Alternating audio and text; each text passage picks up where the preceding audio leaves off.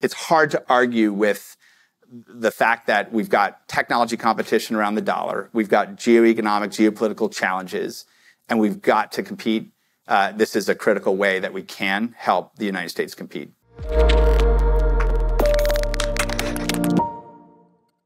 Welcome to this evening's public briefing, Currency in the Crossfire. I'm Maggie Lake, and I'm your moderator for this evening. So, as many of you, I'm going to take a seat as we talk about this. Um, as many of you are, I'm sure are aware in the headlines, the US dollar is facing unprecedented challenges. Concerted action by Russia and China, the rise of central bank digital currencies, doubts about US macroeconomic policies, I'm thinking a few of you might have heard about the debt ceiling that's happening. Fierce new competition among global, trading partners. I mean, the list is is fairly long. At the same time, digital assets, specifically digital dollars, are playing an increasing role in global finance and commerce. So the question on the minds of many is how is the US going to navigate these uncharted waters and leverage new tools to preserve the influence, efficiency, and national security attributes of dollar denominated world order. We're going to try to shed some light on that very important question as we discuss digital dollars, stable coins, and ways to ensure the US dollar continues to serve a vital role in the 21st century economy. Before diving in, I'd like to extend a big thanks to Circle for helping us make this event possible. I'm honored to welcome to the stage Jeremy Allaire, co-founder, chairman, and CEO of Circle.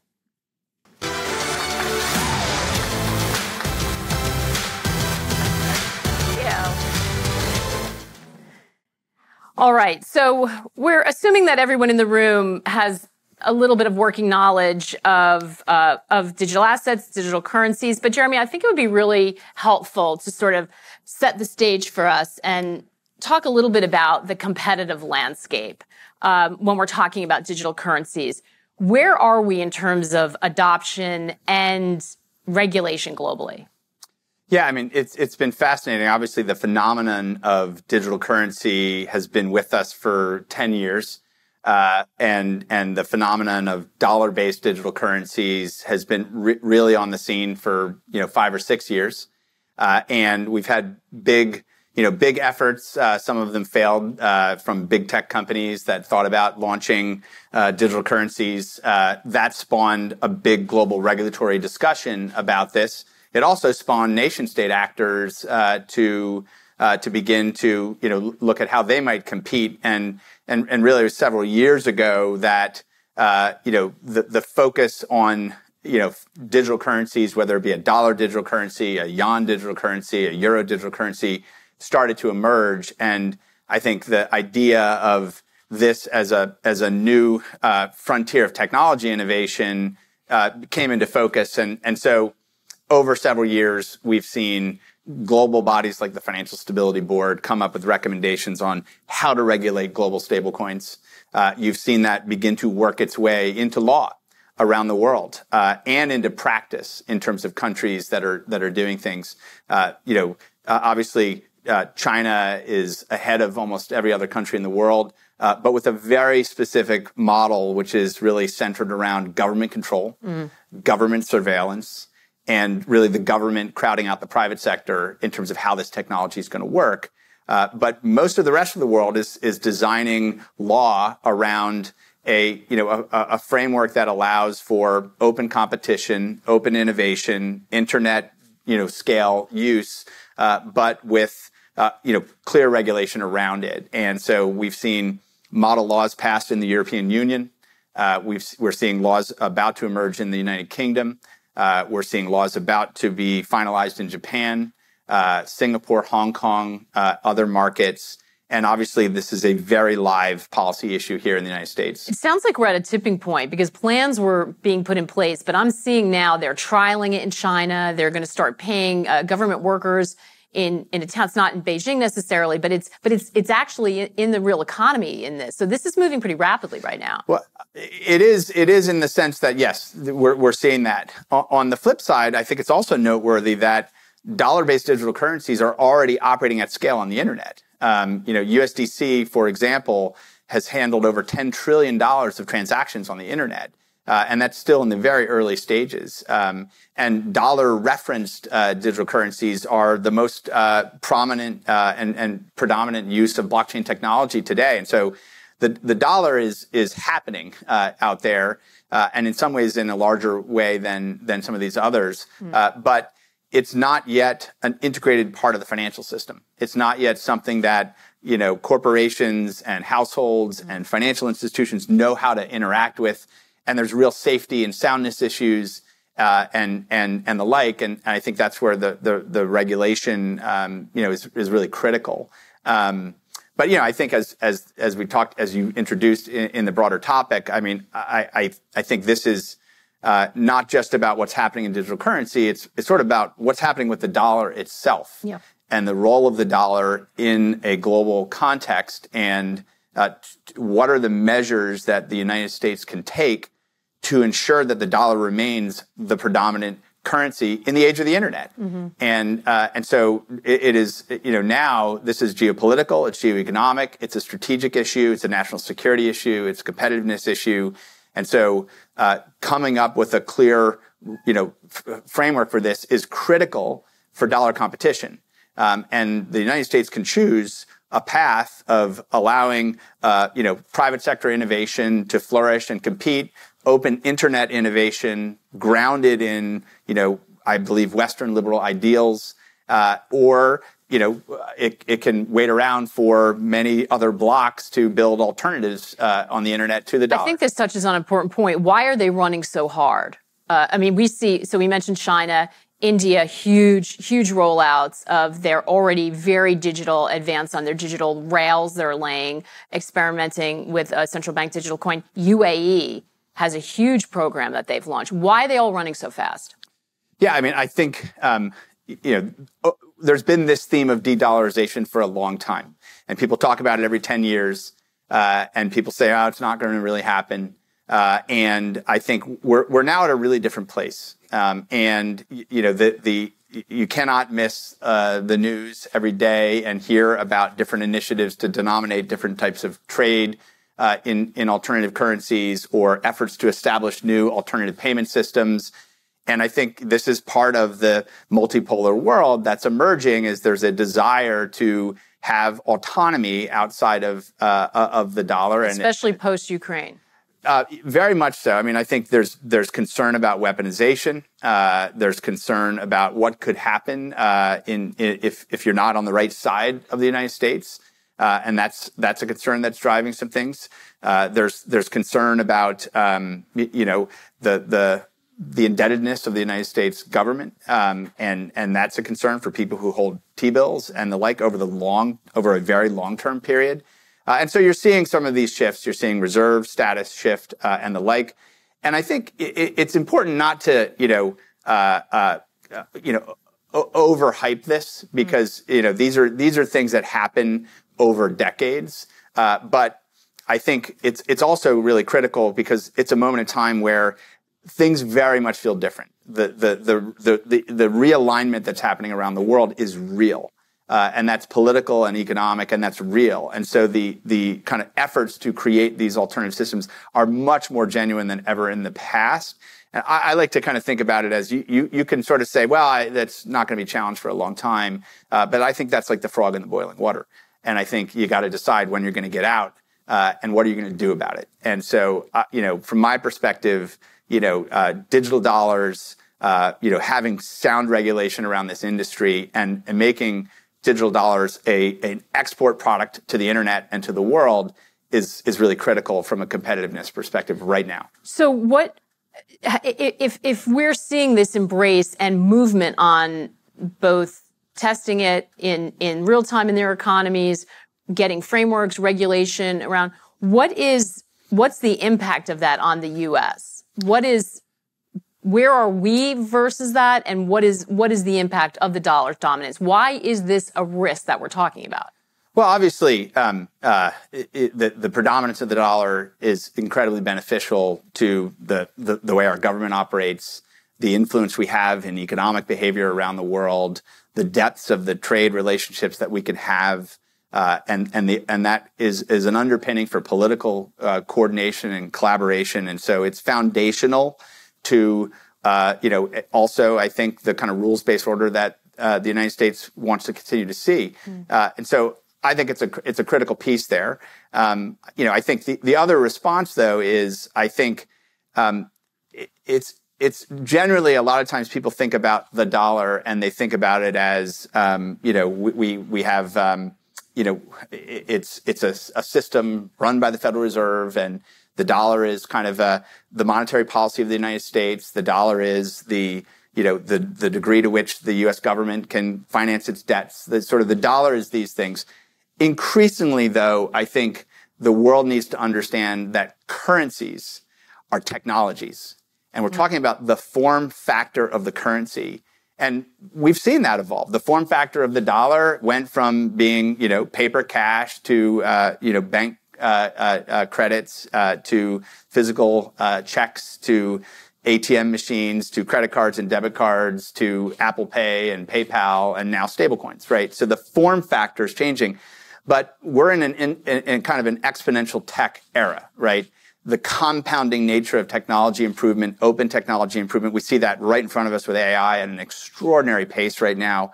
And so the, the, the kind of obsolescence of technology and the way in which technology amplifies and becomes a, a huge part of how, how, you know, money works mm.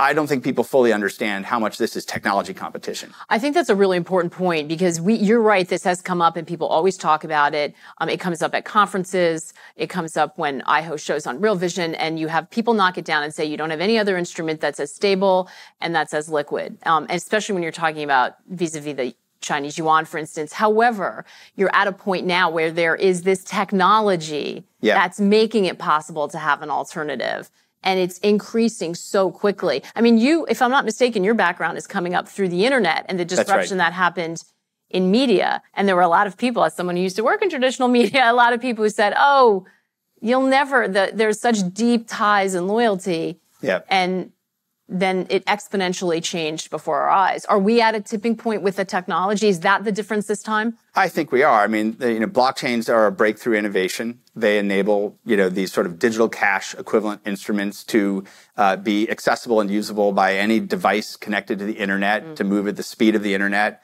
with very high security and privacy assurances and increasingly very, very low cost. And you know, the, the same kind of openness and interoperability that made global information flows, you know, basically go exponential and communications go exponential and software distribution go exponential and even the way people can sell products kind of go global and exponential, right? Those are now a, a reality for, uh, again, the kind of form factor of the dollar. But to, to your other point, I think the dollar is the strongest currency in the world. It does have the, the best foundation. And so we got to build on that. And so we need to take that and build on it and take that and make it as safe as possible, make it as, as accessible as possible uh, around the world. And, you know, I think one of the things that's also missed often when people talk about stablecoins or legislation in this, in this area is, you know, uh, uh, uh, if you look closely at, at the, at the kind of proposals that are here, this is about building a safer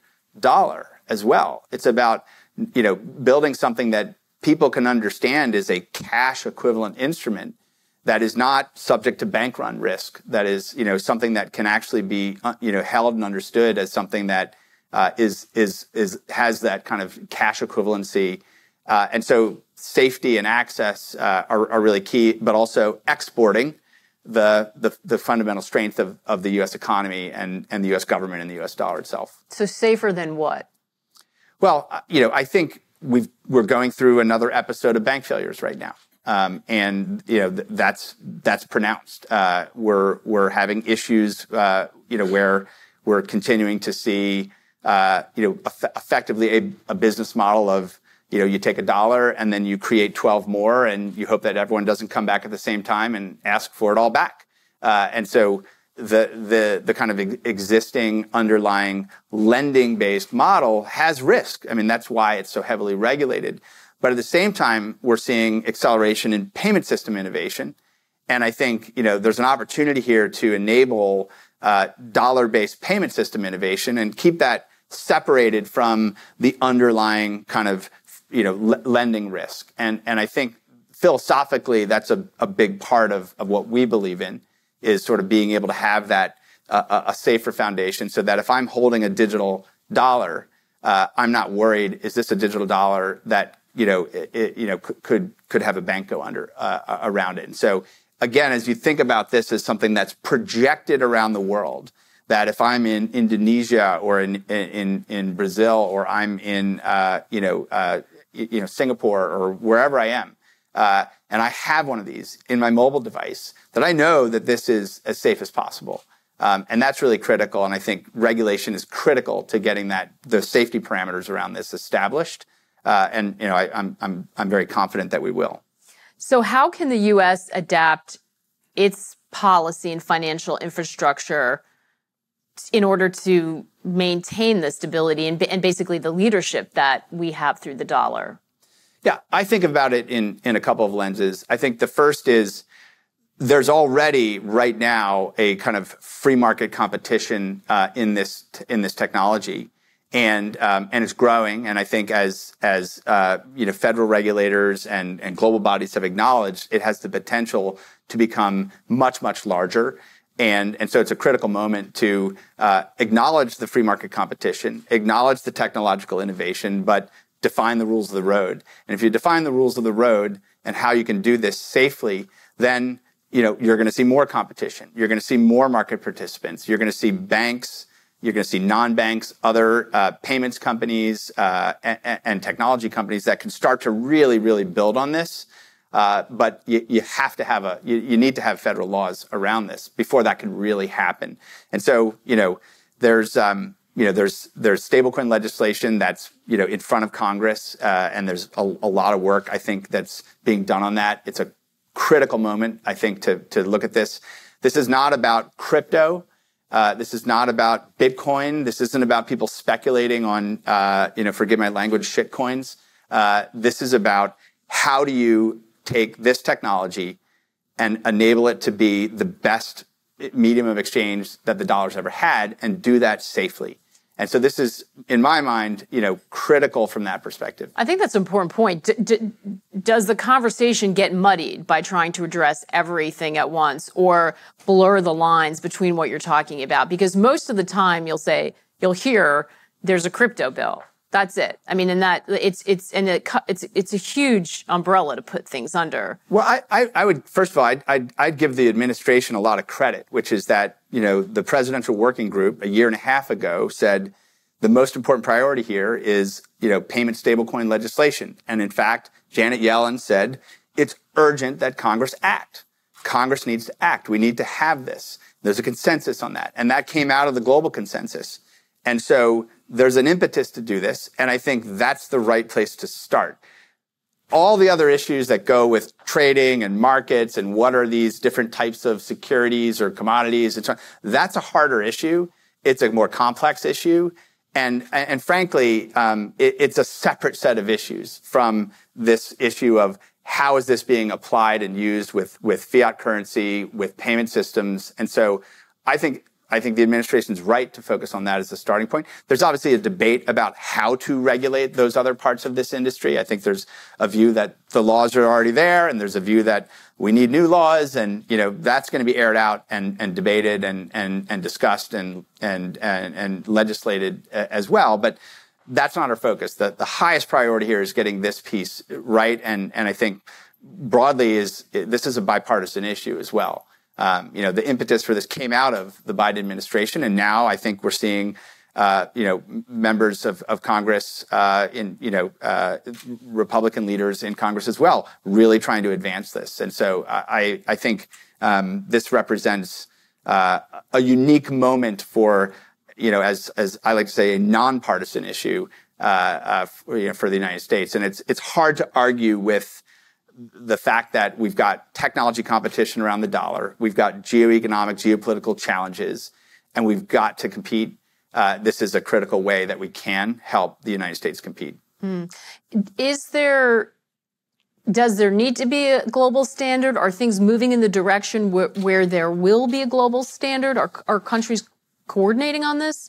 There is there is coordination. I mean, in fact, as noted, right, the, the Financial Stability Board, which is really the G20 members, you know, came up with a set of policy recommendations uh, to to put in place, and we're now seeing, you know, central banks, finance ministries, and as as appropriate and needed or necessary legislators in different markets adopting versions of those recommendations. And so, while there are some differences amongst them, uh, there's a, a, a, lot of you know general agreement around that. And actually, I think there's an effort now at the Financial Stability Board to continue to kind of harmonize uh, on the broader digital assets uh, uh issues. And so, um, but you know, it, it's interesting that you know the dollar is the most advanced in terms of its use in this technology space, but the U.S. is is currently you know the the furthest behind in terms of getting to law. Uh, and so uh, I, I think that's important. And maybe the United States is best to be last. I'm not sure. But given the competitive pressures and given the political uh, pressures globally on this issue, it, it doesn't feel like something we should be waiting around on. Is there a risk that by not being at the table, we lose the ability to set the rules of the road? I think quite possibly. I mean, I, I think if we don't see, uh, you know, c- clear federal, uh, uh, you know, statutes around this, and it gets you know, punted to uh, after a next presidential election, the establishment of a new Congress, et cetera, that's a huge loss. It's a huge loss because other other other regimes are moving ahead. I think it's a it's a huge loss because without that certainty, we can't unleash the commercial sector, the, the financial institution, uh, uh, you know, environment, the banking environment to be able to use this technology because they're not going to until there's real clear federal laws. But importantly as well, there are actors in this market that operate offshore uh, that thumb their nose at U.S. Uh, uh, regulators and sanctions evaders and others, and that's a problem too. And so, which kind of dollar do you want? And do you want to have a clear definition uh, around that that is something that can be enforced. Um, and so I, I, think there's also a risk that you know absolutely the worst kind of things can happen because someone else is ex- expropriating the dollar uh, and uh, and not doing it with any of the kinds of of uh, supervision that are necessary to do this safely. Uh, and so I, I, think that's another risk for the United States right now. So what does smart regulation look like? You know, I think. Um, smart regulation. Look, there's a, there's a lot of uh, of, of uh, proposals here, and I think you know one key thing is we need to have uh, a, a, definition of what these are. Uh, we need to have uh, a set of very clear requirements around who can issue these. Whether you're a bank that's going to issue these, or you're a, a, a non-bank, but you're going to be regulated by state and federal banking supervisors. So this is something that has to fit in the prudential supervisory framework. There have to be very clear guidelines on the reserves that back these so that these are the safe instruments that we all want them to be. Uh, there have to be, you know, a, a, set of kind of, you know, federally set standards so that, uh, you know, the, the, the, issuers of these are held to very high standards of risk management, transparency, uh, and, and things like that. Um, I think those are the building blocks for this. Um, there, there, are a lot of other, you know, adjacent subtle issues uh, uh, uh, as well, but I think that's the heart of it. And I think, you know, the legislation that, you know, Chairwoman Waters and, and Ranking Member McHenry had worked on uh, was a good start. I think there's, again, iteration happening on that, and, and hopefully uh, we'll see some progress. Mm. What about consumer protection. We talked before about there tends to be a big umbrella conversation, but we did just have uh, Minneapolis just recently. Fed President Neel Kashkari was quoted as saying central bank digital currencies were, are useless unless you want to control, surveil, or tax the hell out of your people. How do we? Is this a sticking point? How do we balance balance the sort of national and economic security concerns? You know, the, the desire to keep the dollar the dominant, preeminent currency with individual protections. How do we need to think about that? It's a critical issue. I mean, I, I think um, the, the, the China model is pretty clear. The state's going to surveil everything. They're going to know everything about everything you do. And I don't think that's going to work in the United States, clearly. Uh, you know, people want what I like to call an air gap between their digital wallets and the, you know, the, the, the surveillance mechanism. And I think the existing two-tier banking system accomplishes that today in many respects, and the BSA, AML frameworks that we have accomplish that in many respects. Um, but in a blockchain environment and an internet environment, there's actually a risk because there's more transparency of all these transactions. And so the ability to monitor this uh, by, by everyone, whether it's a, a threat actor, a, a, hostile nation state, or the, your own government, uh, is, is enhanced. And so um, it's really critical that privacy preservation be maintained. And I think, you know, whether you're a corporation that doesn't want people snooping on your business and your transactions, but you're a law abiding corporation with auditors, or you're an individual that, you know, wants the presumption of privacy in, in their transactions, it's really, really critical. I think the good news here is that cryptography uh, provides great mechanisms to simultaneously preserve privacy uh, but also to use cryptography as a way to prove mathematically that someone who's interacting on these networks is a good actor, has been you know onboarded properly, that there there's a, a financial institution that's you know monitoring what they what they're doing, but it's not the government itself directly in your in your transactions, right? So I think there's actually breakthroughs that are possible, and we're working on some of those in terms of digital identity technologies that allow for privacy preservation, but also to ensure that you know actors that are interacting on these public internet networks um, that that you know uh, uh, can can can be you know known to have been you know verified. And so I think um, that's a that's a key issue. And I think whatever we do here has to resolve this tension between privacy and national security. Um, and it's you know it's a it's a you know it's a a tough needle to thread, but I, I, think there's new tools that are at our disposal to address these issues. And, and, frankly, I think you know the Treasury Department and FinCEN and and and other uh, areas of the, of the Treasury Department acknowledge this and see this and see that actually there's a lot of really powerful tools here, uh, and and um, you know I think are pretty good at working with industry on how to evolve all of this. Yeah, well, presumably this is a this is a problem that someone will solve with innovation yes. and and take advantage of the business opportunity that's around that. Very much. How does um, this is a very simple simple question and it may, may be a uh, a slightly ignorant one, but talk to me about stablecoin versus central bank digital currency. We, the people we see moving running fast are very much doing it so in central bank digital currency. China, um, for one can they coexist? How how does that look here? What's the relationship between stablecoin and central bank digital currency? Yeah, there's there's a lot of discussion on on this topic, and I think um, it's interesting though that that you know in most places payment stablecoin laws are coming into, into place because the private sector is moving you know is, is moving on this, and so that I think is is there. Um, obviously, Ch- China is a unique uh, a unique uh, situation um, for for a lot of different reasons. Um, but this has caused and spurned a lot of discussion and debate on the topic, and I think um, one needs to kind of break it down a little bit, which is if you if you think about the dollar. Um, I, I, had a conversation uh, a number of years ago at an event with the the chief information officer, the CIO of the Federal Reserve, and I said, well, you know, I'm a technology guy. Like, what is the architecture of the dollar? Like, what is it? Like, what kind of databases are you running on? What kind of software is this written in? What is what is this? And he talked to me about it, and it, I was like interested. Um, but it's 40 year old technology at the core, um, and we need to ensure that for the dollar to remain competitive, we need to make sure and ensure that you know the core technology that underpins what all of us are going to depend on as the core electronic systems, right?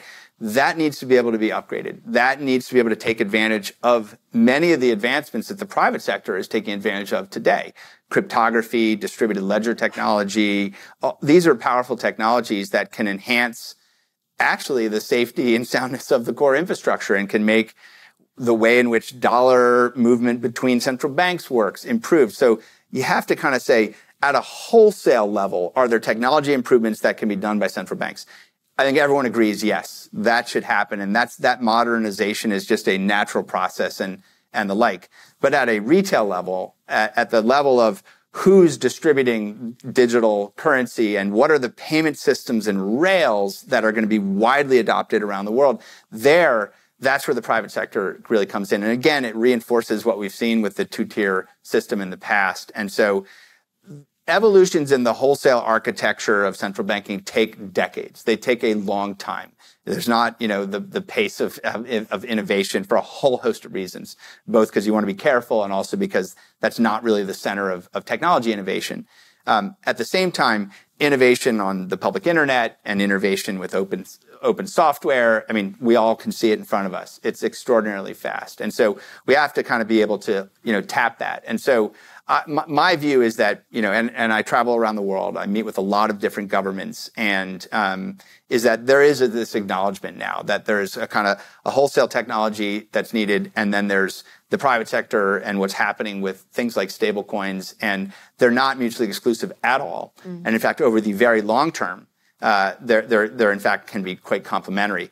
But we shouldn't wait around, right? This is a here and now issue because you've got scale actors, you've got the activity, and you've got a real, I think, urgency around uh, the, the again technology competition around the form factor uh, uh, of money today. And the genie's not going back in the bottle. I mean, I think of my kids. I have uh, kids who are in high school. They just don't touch cash. We would try to. They ask for money. We try to give it to them, and I have to, you know, I have to Venmo it or something. Like right. God forbid they touch a twenty dollar bill. They're happy to take my money, yeah. but um, but the genie's not going back in, is it? No, it's not. And and I think you know um, people who have used stablecoins uh, and and have used things like USDC uh, it's a big aha moment. It's kind of like the, the moment when you realize like you could send or receive an email to anyone anywhere in the world and it just happened or the first time you had a, you know, a video call peer to peer with someone and they were in a different part of the world. You're like, and this is free and this just happened. It's like you have these experiences of the power of the open internet, the power and reach of, of this technology and, and stablecoins provide that, right? It, you're not inside someone's walled garden. You're not in some closed loop proprietary system. You're on the internet, and uh, and you can transact directly. Uh, and and that's once people start to have that experience, they don't want to go back. That's the genie out of the bottle. And I think we've seen that with other technologies, right? Uh, there was a time when you know Congress was debating whether or not you'd need an FCC license to build a website. Uh, you know, where, you know, regulators in Italy were saying, you know, you cannot broadcast audio streams into our country because you need to go get a special license to do that. Uh, you know, I can have an, uh, uh you know, basically uh, all those kinds of things, you know, openly on the internet. And, and I think um, there are societal trade-offs, right? We have to make sure that, you know, that there are ways to ensure that, you know, criminal abusers and others have no place to hide, right? That's important.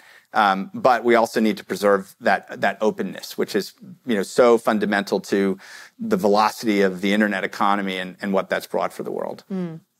Uh, you talked about exporting the dollar before. What, what, do you mean by that? Talk to me a little bit about that. What, why, why is this critical to making sure that we can export the dollar? Or I think that's how you put it. Yeah. So, uh, uh, you know, I think at, at, the at the end of the day, um, we're going to live in a world where individuals will be able to uh, open up a smartphone and they'll be able to download a piece of software and they're going to be able to choose which global economic system they want to participate in. And they're going to be able to choose that by virtue of what digital currencies are, are floating and available to them. And so, um, in, in a world such as that, uh, you know, we want to make sure that if that person opens up their phone and downloads that software, that someone wants to send them a digital dollar and they want to transact in that because that is what the network effects, right? This is uh, currencies are a network effect business, and the dollar has the best network effects right now. We want to preserve that and accentuate that and expand that. Uh, and I think um, you know that's about making you know these digital cash like form factors work around the internet. And so it, it's an ex- extraordinary amount of I think important economic uh, strength uh, that can come from that and to preserve the ability for people to transact in the best currency in the world. Mm. Uh, do we have any questions from anyone in the room? Yeah, and maybe this is partially more of a comment, but some of the um, uh, concerns um, that you were speaking about of like unauthorized entry into networks, you know, tr- exchange, currency exchange networks and things like that.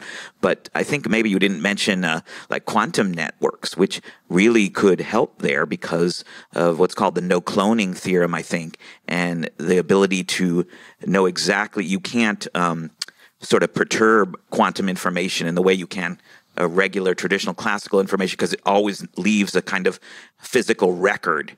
And that's going to be something that if we have quantum networks and quantum computing might really help out in, in that regard. I mean, it's built into quantum mechanics. I think it's the no cloning theorem and it really could, could aid there in terms of knowing who, you know, could, um, um, enter your uh, currency exchange networks um, in an unauthorized way and corrupt them or do some some crime or something. This is where I think technology's ability to also lend a hand, as you mentioned yeah. before, in the in the, but uh, it's understandable because we haven't been able to keep yeah. up with with the nefarious forces yeah. very well in the traditional system. Yeah. So you know, there it's right to ask the question: Will we be able to keep? Because it's fine to chase the innovation, but do we have the manpower, the, well, the a, ability, the tools to be able to make sure that we're protecting it? But maybe a, technology it's a, it's provides key, that. It's a key theme. I mean, I think you know. Thank you for that. Blockchains are, are, are, rooted in this idea that we can use cryptography to strengthen the assurance that we have about data. And we can have assurance about transactions and we can have assurance about the output of computers. And uh, that's, you know, blockchains are these new kinds of cryptographic computing environments. And the, you know, many blockchain projects are already thinking about quantum cryptography and what that means and how that can strengthen it. And this infrastructure is ultimately about strengthening the resilience of our infrastructure. It's actually a, a major upgrade from what are today not secure uh, systems mm. that have far more porous, uh, you know, avenues of exploiting data and and transactions. And so it, it is actually about a new, more secure infrastructure layer on the internet itself, not just for money, but for data, uh, you know, for you know knowing what's real, what's fake, uh, which is increasingly going to be a major issue uh, in society. Uh, and so, um, you know, that, that's a little bit of a tangent because, you know, we, we build a, a, protocol for dollars on the internet. It happens to use this cryptography and, and, underlying infrastructure. That's a powerful underlying infrastructure. Most people don't care, right? The, the, meaning they, they don't care whether they're using a crypto, blockchain, anything, right? They just want to know that it's safe. They want to know it's, it works, it's fast, it's accessible, it works anywhere I go, anywhere in the world uh, and, and, they want to know it's got the protections uh, that are afforded uh, by you know uh, being part of the, the, the regulated financial system as well. Mm. Um, when you talk about the export of the dollar and the dollar and currencies represent the cultural and values and normatives of of individual countries, can you talk a little bit about how the extension of the dollar in that way, in digitized form, over an open over an open internet, actually extends democratic principles and values of the U.S. externally?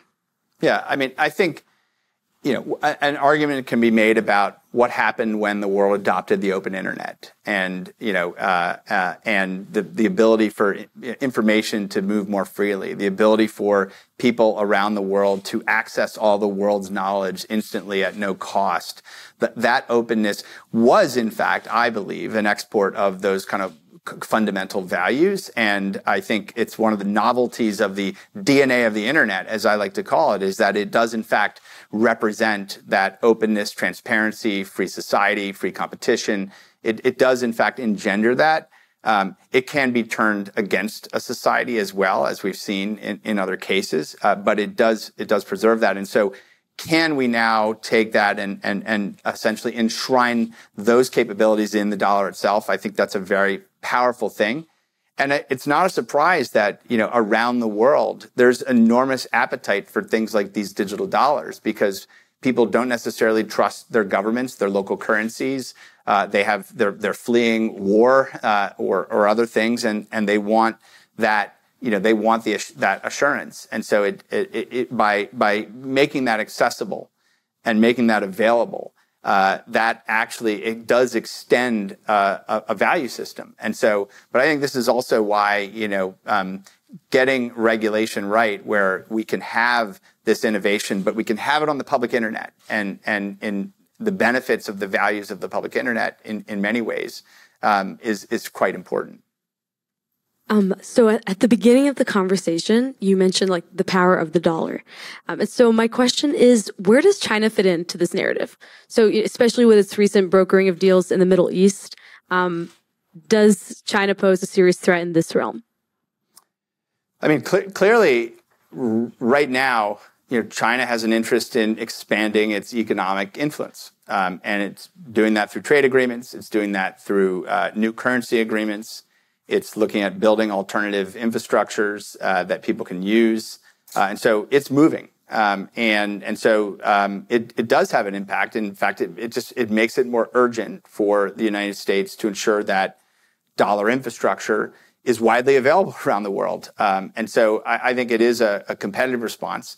I think um, you know there's very you know there's there's a lot of questions that remain about um, you know the desirability of of say individuals or businesses to want to hold something like the yuan uh, because it's not freely convertible. Uh, it, doesn't have the same, uh, you know, in, in many people's eyes, rule of law uh, that that sits behind the dollar system. And so um, this is a chance where you know there is that competition, but there's a chance to, I believe, you know, again, the dollar is the leading currency. There's a chance to cement that position um, through technological competition, but it's competition. There's no doubt, right? And that that doesn't the competition doesn't go away, but you got to compete. You got to put your best foot forward. Hey there. Thank you so much for speaking today. Just have a question regarding the differentiators between a CBDC and, and USDC, especially in regards to um, some recent governors uh, banning a CBDC in their states.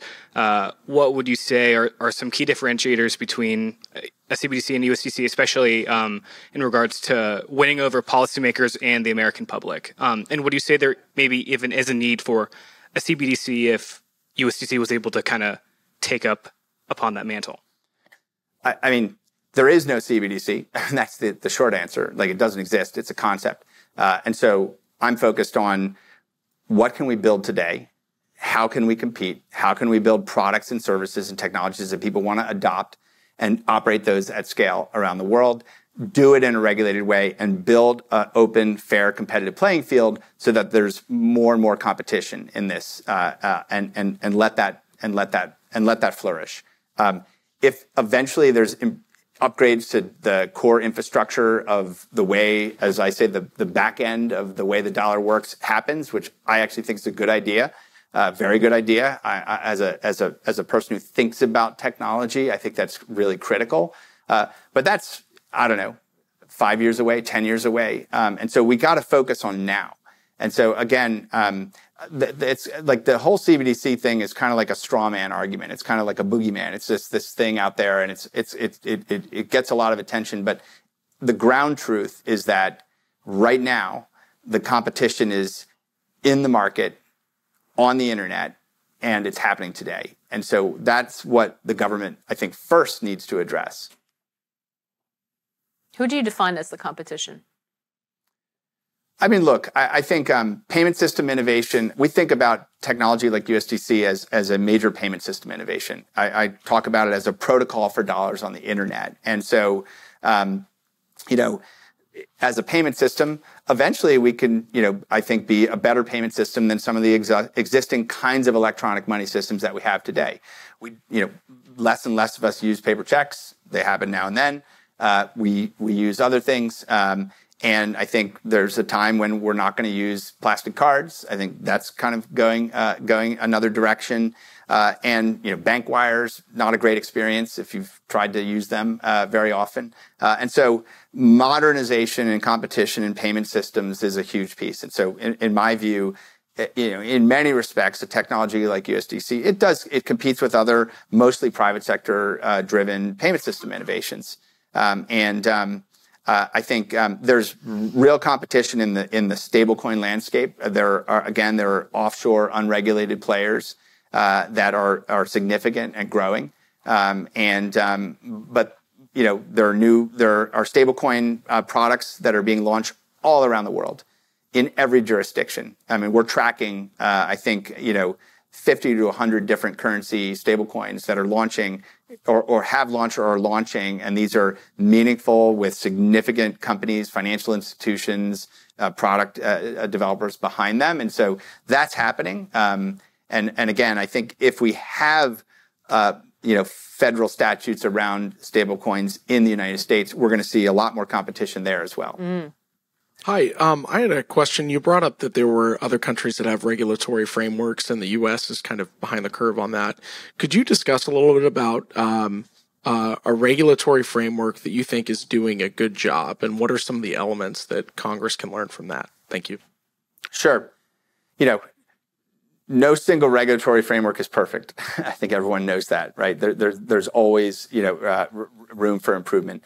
Um, if you take regulation that has just been finalized in the EU that will regulate euro stablecoins, uh, which you know we actually have a euro stablecoin uh, as well, and and we are in the process of of having that uh, set up and regulated through France to be part of this now EU-wide framework for euro stablecoins. Uh, and it's an 800 million uh, person bloc.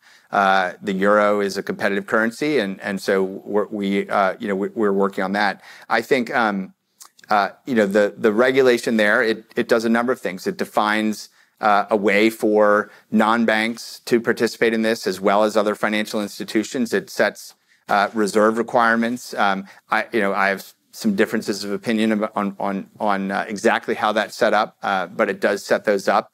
Uh, it establishes a, a, clear kind of registration supervision requirement, and I think um, now kind of banking uh, supervisors in the EU are all preparing themselves uh, to to you know be, begin to operate with this. Um, but um, it, it's it's part of a broader 600 page uh, legislative framework called uh, MiCA, which is, is, is far broader in terms of its coverage of the digital asset ecosystem and, and the like. But the stablecoin provisions are there. I think it's it's good. I think the United States could do better. Uh, I think the legislation that is being discussed right now is better.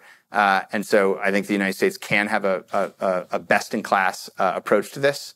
Um, and, um, you know, that's just one example. Okay, we have one more question. Time for one more. Thank you. And um, hopefully you can understand my accent. Um, uh, just a bit of a cross um, jurisdictional analysis. I'm I'm an attorney. So just would like to know how helpful the banks and the financial institutions have been in helping or hindering the crafting of the regulations, given obviously the disruption to their activity, how important they are to the creation of money, uh, that that kind of thing. Because in Australia, it's been quite different, and they've been quite helpful and on the forefront. So I'd just like to understand the situation over here. Thank you. Yeah, I mean, I, I think th- there there are different components, right? I think um, there there are certainly banks that would really like to see this kind of regulation in place because they want to get in this business, um, and they can't uh, because there's no framework for them to get into this business. I think uh, a, a, a, regulation like that is being discussed would allow banks to issue stablecoins. It would allow banks to hold stablecoins within their uh, within their balance sheet. Uh, it would allow that to be treated as a cash equivalent instrument in the financial sector, whether you're a bank, a broker dealer, uh, you know, a, a, money services or payments business. Right? It creates a, a playing field where people can both participate and use this technology. And so there's absolutely, I think, a desire to see, you know, clarity here. And, you know, again, banks are, are not in this market today directly. I mean, they service, you know, companies like Circle, but they're not directly in this market. And so I think this would, would, would uh, allow them to do that. I think there is some, you know, uh, you know, heartburn over the idea that you can have, you know, payment system innovation uh, with companies that are not themselves lending institutions. Uh, and right now in the United States, uh, lending and payments and the risk of lending is embedded in your payments, uh, uh, the, the, storage of value with these institutions.